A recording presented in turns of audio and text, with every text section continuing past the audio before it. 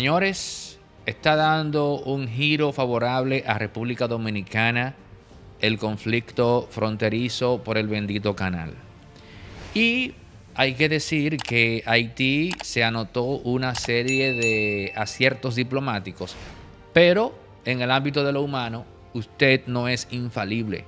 Y por más genial y brillante que usted sea, tarde o temprano usted va a cometer un error. Yo siempre le recomiendo a la gente, mira, cuando tú estás en un enfrentamiento con lo que sea, con una persona o con situaciones adversas, simplemente ten paciencia, ten paciencia y enfócate, porque en un punto X habrá una especie como de apertura que permitirá que las cosas giren a tu favor.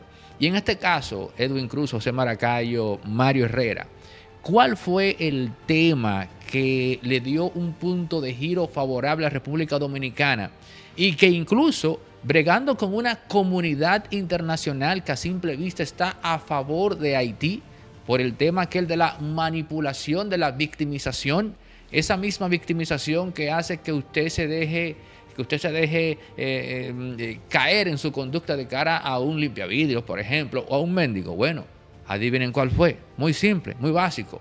La OEA le manda una solicitud al gobierno haitiano para que le permita ir a Haití y buen dominicano darse una vueltecita, chequear el canal. Y para sorpresa de la OEA, Haití no le da el visto bueno no firma la carta, no hace el protocolo diplomático para avalar que una comisión de la OEA pise suelo haitiano.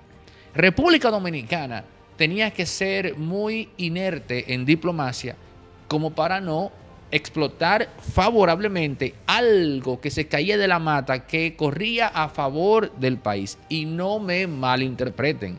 No estoy diciendo que la diplomacia de mi país sea tan mala que no sepa ver eso. No, pero Haití se vio, digamos, presa o preso de su propio relato.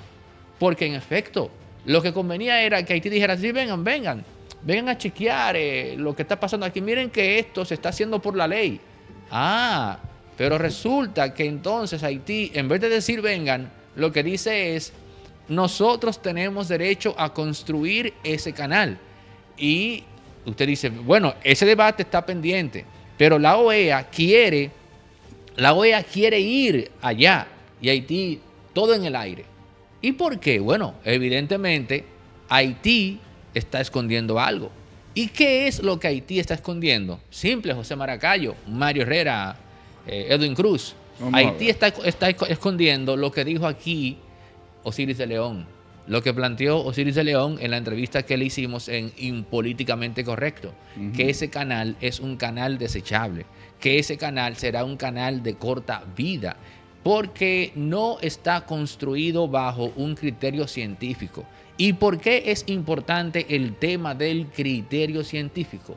Porque tú tienes que determinar a, nivel objetivo, si ese volumen de agua que pasa por ahí, es decir, el caudal, que es la volumetría del líquido en cuestión, eh, es lo suficientemente, eh, digamos, voluminoso como para comprometer la estructura, o si eh, en base a esa investigación de ese nivel de agua, cuál es el tipo de estructura que tú tienes que hacer. Eso, según dicen todos por lo visto, eso no se ha dicho ahí, no se ha dicho ahí.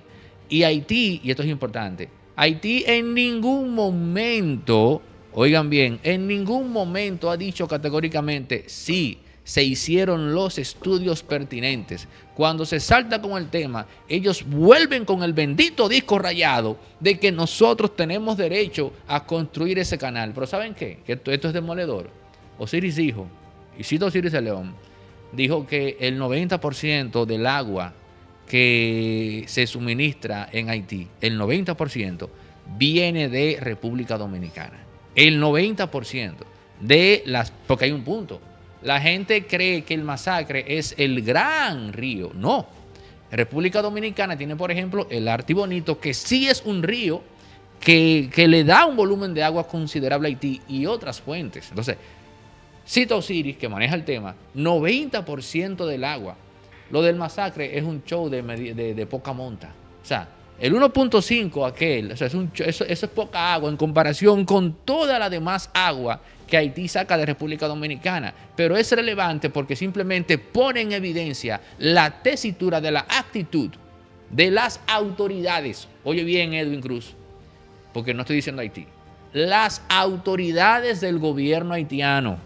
Estoy diferenciando porque tú lo único que tienes que hacer es ver la alegría del haitiano comprando en la frontera.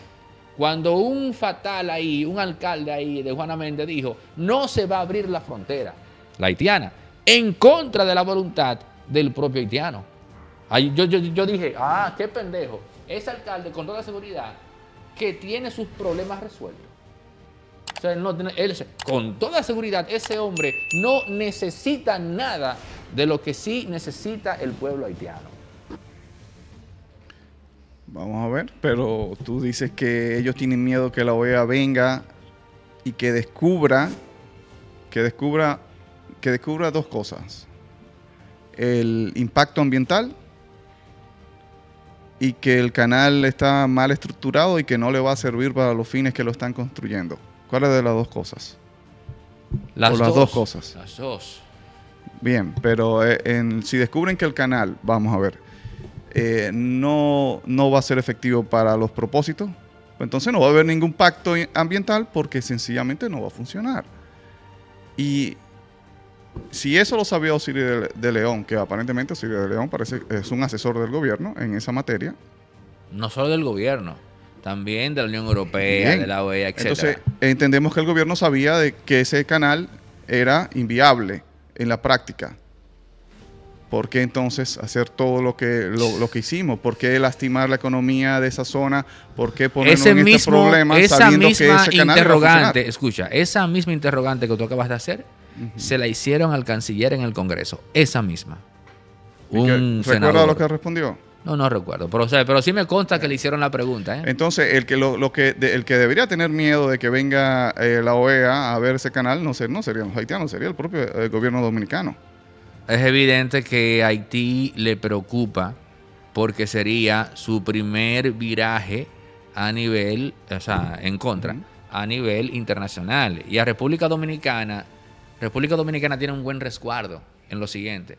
República Dominicana lo único que tiene que argumentar es la crisis humanitaria que puede representar una inundación de ese canal producto de una mala práctica en la construcción ya.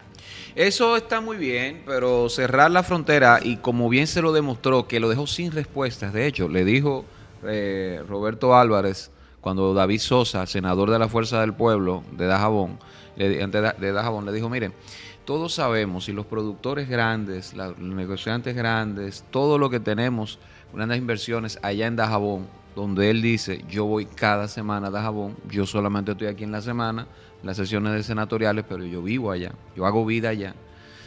Sabemos que ese canalete no tiene ningún tipo de representar ningún peligro oh, para la República Dominicana ni para la producción. Le dijo eso. Y le mostró imágenes. Mire aquí.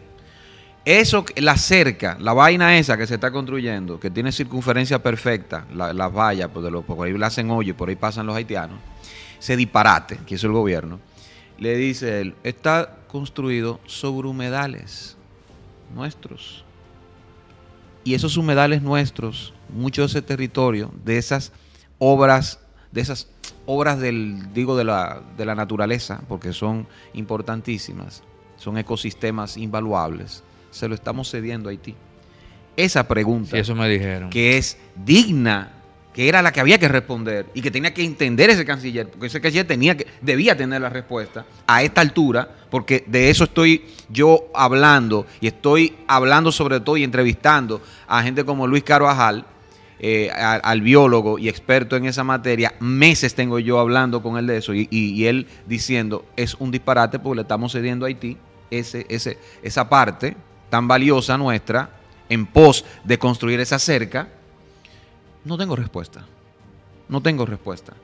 Entonces, asimismo el gobierno ideó como disparatosamente este tema de, cierre de frontera. O sea, cierro la frontera y agoto entonces las vías diplomáticas a partir de esa de esa, de esa medida tan mostrenca.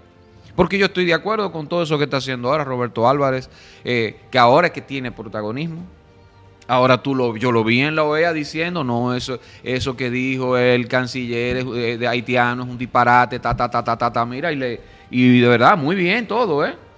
Pero ahora, un mes después del disparate, ¿eh? de someter a un holocausto económico prácticamente a productores en Dajabón, a productores en Moca, a productores en otras partes del país, a gente que tiene surtidoras, que llevan esas, esas mercancías pequeñas que representan algo, volumen mucho para ellos, pero quizá para grandes empresarios no. Ese tipo de cosas es lo que a mí me, me, me muestra desconfianza en este gobierno.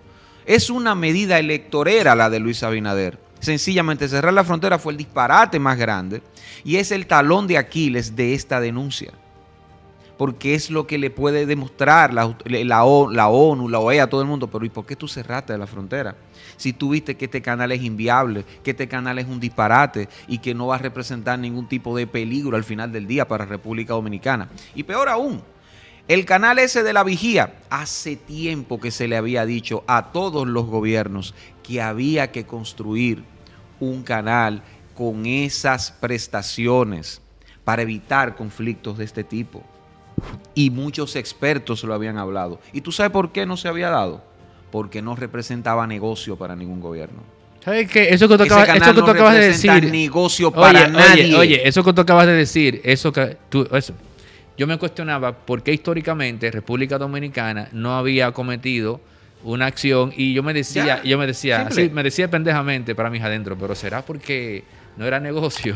Será por eso. No, representaba negocio para nadie. Entonces, cuando tú, cuando se vayan, cuando se vayan a, se vaya a evaluar esto, lo que, lo que, lo que significa un disparate desde, desde allá, del lado haitiano, se va a revertir a favor de ellos. No, y en contra nuestro por cerrar la frontera. sí, sí, pero cerrar la, es que cerrar la frontera es una medida. Haití está quedando mal al no recibir a la OEA. Pero es que cerrar la frontera es, son palabras mayores. Cerrar la frontera es una, es una situación casi de guerra. Casi de guerra. La de, la, de mover, mover un, todo un ejército eh, para allá haciendo ese maldito bulto. ¿Contra quién íbamos a pelear? ¿Qué, ¿Qué, estaba en peligro de la nación? Ustedes fueron a Dajabón. total, Ustedes fueron a Dajabón en esos días. ¿Y qué vieron? ¿Vieron peligro ahí? Ustedes vieron haitianos matándose con dominicanos ahí. muchos militares dominicanos. Y total, que tanto armamento, tanto bulto, como tú dices, bélico, para que nos venciera un cráneo y, un cráneo de perro, parece que tenía el tipo que hizo la brujería de aquel Sí, que hizo la brujería y esa Porque inmediatamente pasó eso, pararon las tropas de Kenia. Eh, Dios mío. Qué, maldito disparate. La verdad es que la, verdad es que este gobierno yo no lo entiendo. Comienza es, como todo de atrás hacia adelante. Y así fue lo de lo de la mano de obra. Eh, yo creo que ya es otro capítulo de la mano de obra haitiana que llegó a su fin. En la, no, no, pero eso, Congreso de no, no, es, no, no, pero para cerrar, eso último que planteó Abinader, el presidente, sí es un tema que amerita algún tipo de acción porque es muy interesante. No puede ser que República Dominicana como sociedad, o sea, oye bien, no puede ser que República Dominicana como sociedad esté expuesta por la incapacidad de muchos empresarios de no ver más allá y de resolver ese tema de otra manera. Si lo dejamos, si lo dejamos va a ser así siempre. Por ejemplo, la esclavitud no se disolvió por un asunto de, amor al arte o de consideración. Tuvo que darse un choque para que eso se resolviera, ¿no? Entonces, en República Dominicana, ese tema de la mano de obra del vecino sí tiene que tocarse ya. Y esto que dijo el presidente, bueno, un primer paso. ¿Y qué aprestos, qué aprestos se han hecho para, para que esa medida se pueda cumplir? No, no, yo estoy seguro que no es la primera vez que... y no es la primera vez que lo dijo. Que, no, no, no, ni, oye, ni Danilo, ni Leonel, ni Hipólito dijeron esa frase. Yo habría que ver, pero estoy totalmente seguro de que no es la primera vez que lo han dicho. De hecho, el simple hecho de que haya una ley garantizando el 80% de la mano de obra dominicana y solamente el 20%, ahí te da que eso, se, que eso no es la primera vez que se discute, se discutió tanto que hasta una ley hay. Es decir, que esto es sencillamente Sí, sí, promesa Esto es paja, esto de- es En paja, dado, paja pura. caso, en dado caso, lo inteligente es tomarle la no, palabra. no en vano, no en vano, finalmente, mi parte, un informe reciente, no sé si de, no sé de qué organismo internacional, hablaba sobre la favorabilidad del clima de inversión en República Dominicana y del clima social, qué sé yo qué. Dijeron, de- empezaron diciendo cosas positivas, pero luego dijeron lo más importante, el hándicap más importante, es que no se cumplen las normas, no se cumplen las reglas. Y eso es nuestro gran, gran talón de Aquiles, la anomia que existe en, en esta, en, esta, en esta sociedad. Desde arriba comienza ese asunto. Y yo creo que el presidente Abinader se está aprovechando de eso con fines electoreros. Nosotros somos la quinta pata. Aneudi Santos, Edwin Cruz, José Maracayo. Suscríbete, comparte y comenta.